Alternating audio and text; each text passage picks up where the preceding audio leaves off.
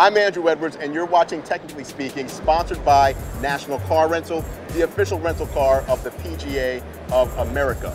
We're here at the PGA Merchandise Show where we're taking in all the latest and greatest in golf tech. We're checking out this little gadget. This is the Aiming TA3. Tell me what this does. Most golfers honestly don't know when they're aimed up properly. Your shoulders could be open, your shoulders could be closed, your body could be open, your body could be closed. This device does that for you. This helps you have better control over that body alignment so that when you hit the ball, you know you're in the right place. That's correct. You push this button one time and I get a long vibration. It's registering that I'm pointing in the direction I'm aiming. It's gonna do a number of vibrations back and forth. It's gonna tell me I'm not lined up yet. Once I'm lined up properly, it solidly gives me a long vibration. Now I know that I'm in the right position. I can just hit the golf ball. Tom, thank you so much for giving us a look at the Aiming TA3, and thank you for watching.